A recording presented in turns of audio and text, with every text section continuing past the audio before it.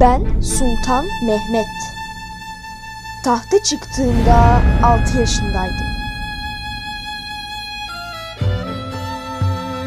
Taht nedir? Bir padişahın vasıfları nedir bilmiyordum. Validem Turhan Hatice Sultan beni hep büyük validem Kösem Sultan'dan korumaya çalıştı. Kendini bana ve tahtımı siper etti.